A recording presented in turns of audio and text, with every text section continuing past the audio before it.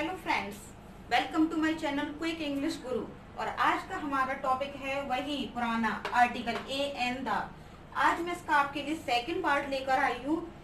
First part में मैंने आपको इजी पॉइंट्स बताए थे आर्टिकल के और आज मैं कंपटीशन लेवल के जो एग्ज़ाम होते हैं, उनमें जो क्वेश्चन पूछे जाते हैं, वो रूल्स आपके सामने लेकर आई हूँ। ये बहुत ही इंपॉर्टेंट पार्ट है। आपको इसका एक भी पॉइंट मिस नहीं करना है।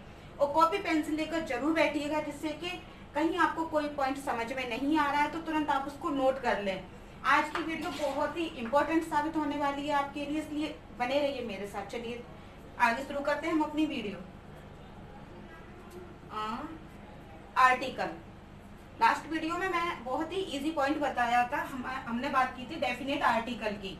डेफिनेट आर्टिकल होते हैं हमारे ए और एन इसमें मैंने बताया था कि जो एन लगता है वो before vowels A E I O U vowels आप लोग मेरी लास्ट वीडियो में पहचानी गए होंगे कौन से बॉविल्स होते हैं, कौन से वर्ड्स ऐसे होते हैं जिनके पीछे ए एन लगता है। और ए बी फोर कॉन्सोनेंट यानी बी टू जेड इन फाइव वर्ड्स को छोड़कर जितने भी वर्ड्स होते हैं, उनका जो फ़र्स्ट वर्ड यूज़ होता है, उनमें हम ए यूज़ करते हैं। आज अब हम इम्पोर्टेंट रूल्स की बात करते हैं जिनसे एग्ज़ाम में एरर्स आती हैं। देखिए रूल नंबर फ़र्स्ट हमारा अनकाउंटेबल नाउन के साथ ए एन नहीं लगता है। अब आप लोग पूछ रहे होंगे कि अनकाउंटेबल नाउन होते कौन से हैं? अनकाउंटेबल अनकाउंटेबल मीन्स जिनको हम काउंट नहीं कर सकते। काउंट नहीं कर सकते यानी गिन नहीं सकते। अपनी फिंगर पर जिनको हम नहीं गिन सकते, वो सभी हमारे अनकाउंटेबल नाउन होते हैं। जैसे कि मैंने एग्ज़ाम्पल भी दिया है, देखिए। Water milk cold drink paper weather etcetera और भी काफ़ी आते हैं। मैं आगे इनकी भी लिस्ट लेकर आऊँगी आपके लिए। अभी देखिए, जैसे कि वाटर पानी को हम अपनी फिंगर पर काउंट नहीं कर सकते। मिल्क दूध को भी हम काउंट नहीं कर सकते। कोल्ड ड्रिंक कोल्ड ड्रिंक को भी हम काउंट नहीं कर सकते। और पेपर पेपर को हम काउंट नहीं कर सकते, जिस तरीके से वो दिया होता है। देखिए इसका एक एग्ज़ाम्पल लेके आई हूँ। एग्ज़ाम्पल पढ़ने के बाद आपको ये बहुत ही जो रूल्स है, वो बहुत ही इजी लगेगा और आपको अच्छे से क्लियर भी हो जाएगा और ये भी पता चल जाएगा कि एग्ज़ाम में किस तरीके से आता है। देखिए, Rajesh came here and beg me a paper Rajesh यहाँ आया और उसने मुझे एक पेपर दिया। आप इस तरीके से सेंटेंस पढ़ोगे तो आपको ये समझ में नहीं आएगा। आपको ये लगेगा ही नहीं कि इसमें कहीं इरर्स है। लेकिन अगर आपको रूल्स मालूम होंगे तो आपको पता चल जाएगा कि हाँ इसमें कहीं इरर्स है। अब आपने देखा, beg me a paper last देखा, सी।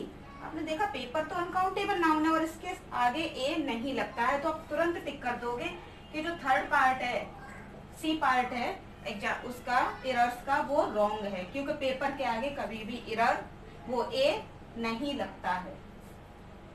ओके नेक्स्ट रूल्स मैं आपको और समझा रही हूँ, देखिएगा इसको सभी लोग अच्छे से नोट कर रूल्स नंबर हमारा फ़र्स्ट कंप्लीट हो चुका है। अब देखिए मैं लेकर आई हूँ रूल्स नंबर सेकंड अगर कोई भी वर्ब वर्ब नाउन की तरह काम करती है तो उस वर्ब के आगे हम ए एन लगाते हैं। अब आपको ये जानना होगा कि वर्ब कौन कौन सी होती हैं। आपको ये पता होना चाहिए कि हमारी कौन सी वर्ब है और कौन सी नाउन है। ये आप पहचानना ज़रूर सीखिएगा। देखिए, इसके लिए मैं आपको एक बहुत ही इजी तरीका बता रही हूँ कि वर्ब कौन कौन सी होती हैं। जिन शब्दों के पीछे ना शब्द लगा होता है। क्या शब्द लगा होता है? ना शब्द। ध्यान से सुनिएगा। ये बहुत ही इंपॉर्टेंट पॉइंट है और आपको इन फ्यूचर कभी भी किसी से भी पूछने की ज़रूरत नहीं है कि वर्ब कौन सी होती हैं। जिन शब्दों के पीछे ना शब्द लगा होता है। क्या शब्द लगा होता है? ना।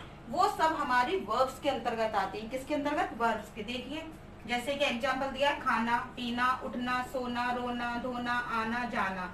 ये सारी वर्ब्स होती हैं हमारी। उठना, बैठना, रोना, धोना, सोना, जागना, आना, खाना, पीना, उठना, रोना, रुलाना, सोना। तो इन सबको जिनके पीछे ना शब्द लगा होता है। क्या शब्द लगा होता है? ना। ये सारी हमारी वर्ब्स के अंतर्गत आती हैं। और अगर इन्हीं वर्ब्स को नाउन की तरह यूज़ किया जाए, यानी वो वर्ब्स होकर भी वर्ब्स का काम ना करें नाउन का काम करें तो उनके पीछे ए यूज़ होता है। देखिए कैसे, ये बहुत ही इम्पोर्टेंट रूल्स है और मोस्टली एरर्स इसमें से आती हैं। आपको ये रूल्स नोट कर लेना है। देखिए example he offered me a drink in that party party में उसने मुझे एक ड्रिंक ऑफ़र की। उसने ऑफ़र की, ए ड्रिंक से मीन यहाँ पर ये हमारी वर्ब नहीं है।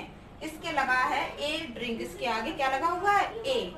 तो यानी उसने मुझे ए ड्रिंक ए ड्रिंक यानी कोल्ड ड्रिंक हो सकती है, बियर हो सकती है, कोई भी बेवरेज, यानी पेय पदार्थ। उसने मुझे ड्रिंक ऑफ़र की उस पार्टी में। तो यहाँ पर हमारे ऑलरेडी क्या लगा हुआ है? ए।